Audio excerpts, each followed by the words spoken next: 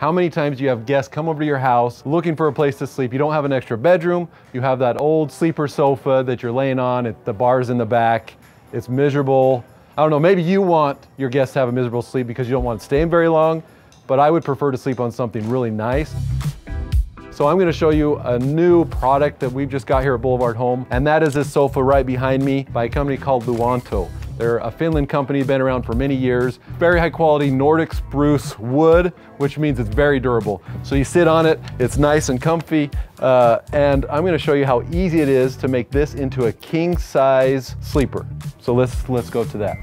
First off, like most sleeper sofas, you take the pillows off, you will not need the pillows. In this case, there's actually two sides. You can go in two steps. You can have a single sleeper and someone still using half the sofa. So let's look at that right here. Easy, you grab back here, lift it up, pull it out, then drop down the headrest. So you now, now have a whole twin size sleeper right here. If you want to add the other side, it's just as simple. As you can see, we have a full size king mattress now. You can lay on it. It fits two people very easily. You can see there's two different covers here. This is because we need to have a good fabric for the seat. And then you have more of a mattress feel here. It's a little softer. So where your hips, your shoulders need more softness, that does play into effect here. Gives you a better comfort as you sleep at night. Super easy. Let's just go now to putting it away. It's just as simple to put away as it is to take it out.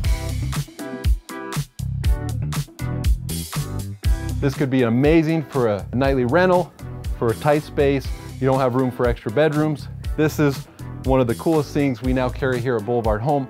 Don't forget the pillows because they do make a nice, stylish looking sofa. I'm gonna show you a quick demonstration. You have this board here.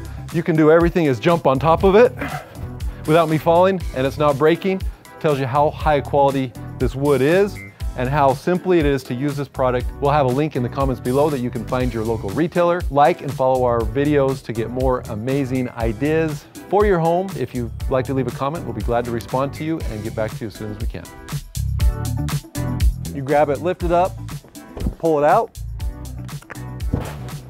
and drop the headrest and knock a tree down. Good thing it's not live, right?